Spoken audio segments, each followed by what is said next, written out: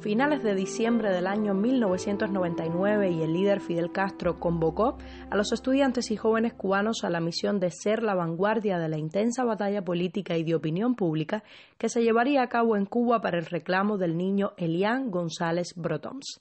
Víctima del entonces ley de ajuste cubano, secuestrado por la mafia de Miami, Elian se convirtió en un símbolo de lucha de todo el pueblo de Cuba un combate humanitario sin precedentes bajo la guía certera del comandante Fidel Castro. El primer agradecimiento 20 años después sería nuestro eh, comandante jefe, que sin la ayuda de él y el reclamo de él a nuestro pueblo por la lucha no, no hubiera sido posible esto, igual que como sucedió con nuestros cinco héroes.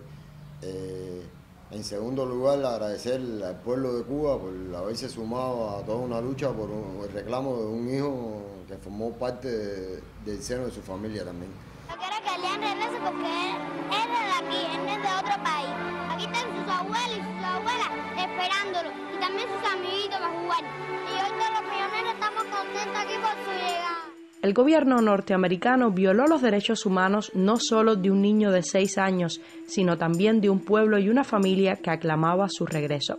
Pero la justicia se abrió paso y el 28 de junio del año 2000, Elian regresó junto a su padre a Cuba. Fueron 266 días constantes de una lucha que dio inicio a la batalla de ideas que librara nuestro pueblo estas dos décadas. Mi hijo era el hijo de todo el pueblo el sentido de pertenencia que tiene mi familia con todo el pueblo de Cuba por, por haber luchado y haber, haber sido mi familia parte de su familia. Eh, hoy en día ya le toca a él el papel de padre, eh, sabrá enfrentarlo y, así eh, seguir de que el pueblo cubano sienta tanto a su familia como lo ha sentido a todos nosotros. En la sala de su casa en Cárdenas, Matanzas, su ciudad natal, Juan Miguel reconoció que la historia de su hijo demostró la solidaridad y el humanismo del pueblo de Cuba, que a diario da muestras de su valor y entrega por causas nobles y justas. Si hoy en día se está demostrando con la misma eh, enseñanza que nos está dando nuestros médicos, nuestro Estado, eh, ¿Cuántos médicos han salido a, separarse de su familia por, brindar la ayuda desinteresada a otras familias?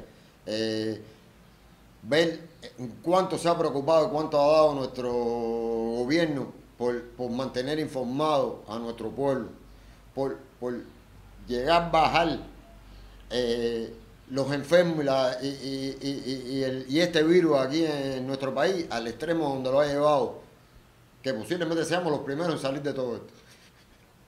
Creo yo que únicamente esto en una revolución como esta. Veinte años han transcurrido y la historia del niño Elian González demostró a principios del siglo XXI la unidad y continuidad revolucionaria de la mayor de las Antillas frente a las maniobras de la oposición anticubana en Estados Unidos, quienes fallaron en el intento de separar a un hijo del amor de su padre.